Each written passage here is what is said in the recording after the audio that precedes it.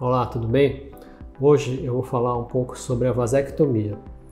A vasectomia é a cirurgia de esterilização masculina. Mas afinal, quem pode fazer a vasectomia? Nesse ano de 2023, entrou em vigor uma modificação na legislação brasileira sobre a vasectomia. Quem pode fazer a vasectomia é aquele homem com mais de 21 anos ou que tenha pelo menos dois filhos. Ou seja, se não tiver filho ou um filho, a partir de 21 anos.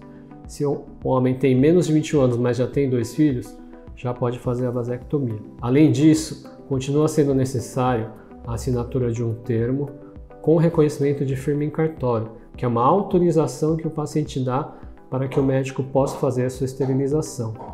E essa nova lei trouxe uma mudança também. Agora, só precisa da assinatura do próprio paciente.